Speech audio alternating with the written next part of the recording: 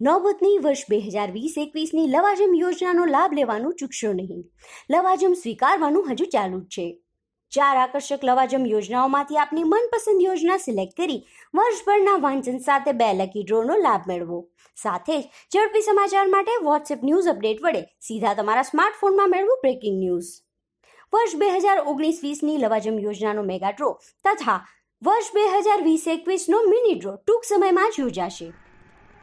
જામનગર શહેરમાં સાંજ સુધીમાં કોરોનાના નવા દસ કેસ સામે આવ્યા છે. શહેર ઉપરાંત જિલ્લામાં કોરોનાના નવા નવ કેસ નોંધાયા છે. એટલે સમગ્ર જિલ્લામાં આજે સાંજ સુધીમાં કોરોનાના કુલ ઓગણીસ કેસ સામે આવ્યા છે. જામનગરની એસપી ઓફિસમાં પણ કોરોનાની એન્ટ્રી થઈ ગઈ છે. એસપી ઓફિસના ક્લાર્ક હિરેનભાઈ ગોસ્વામી તથા એકાઉન્ટ શાખાના કોન્સ્ટેબલ પ્રવીણભાઈ સાદરિયા કોરોનાગ્રસ્ત થયા છે.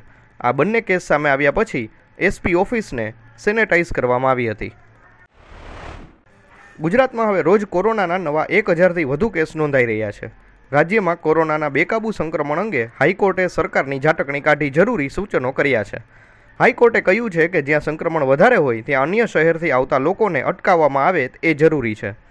માસ્ક ન પહેરનાર લોકો પાસેથી બમણો દંડ એટલે કે પાંચસો રૂપિયાને બદલે હજાર રૂપિયાનો દંડ વસૂલવાની ટકોર હાઈકોર્ટે કરી છે. રાજ્યભરમાં ગુજકેટની પરીક્ષા ચોવીસ ઓગસ્ટે યોજાવાની છે. પરીક્ષાનું ફોર્મ ભરવા માટે એકત્રીસ જુલાઈ અંતિમ તારીખ હતી. ગુજરાત બોર્ડ દ્વારા ફોર્મ ભરવાની સમય મર્યાદામાં વધારો કરવામાં આવ્યો છે. હવે એકત્રીસ જુલાઈને બદલે સાત ઓગસ્ટ સુધી ગુજકેટની પરીક્ષાના ફોર્મ ભરી શકાશે. કોરોના સંક્રમણ અને વર્તમાન સંજોગોને ધ્યાનમાં લઈને બોર્ડ દ્વારા આ નિર્ણય લેવામાં આવ્યો છે. રાજ્ય સરકારના કર્મચારીઓને બઢતી અને ઉચ્ચતર પગાર ધોરણ માટે સીસીસી અને સીસીસી પ્લસ પરીક્ષા પાસ કરવી ફરજિયાત છે. કોમ્પ્યુટરની આ પરીક્ષા પાસ કરવાની સમયમર્યાદા વધારીને એકત્રીસ ડિસેમ્બર બે હજાર વીસ કરવામાં આવી છે.